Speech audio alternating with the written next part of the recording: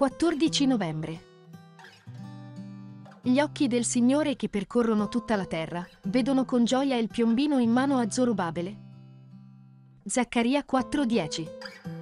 Un capovolgimento sospirato. Per il credente è una gioia sapere che il piombino è in mano al nostro grande architetto e costruttore e che quando verrà, il malgoverno del mondo avrà termine. I falsi valori degli uomini, che edificano sulla sabbia dell'opportunismo, saranno spazzati via.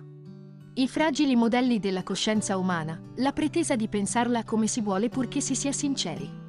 Tutti questi principi senza fondamento divino avranno la consistenza di una tela di ragno.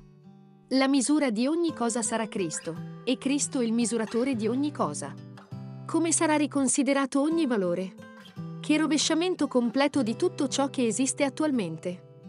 Beato quel giorno, che è stato così lungamente atteso, il gran giubileo del mondo liberato dalla corruzione del peccato, il ristoro bramato dalla terra, la gioia della creazione in travaglio e il tranquillo riposo della natura.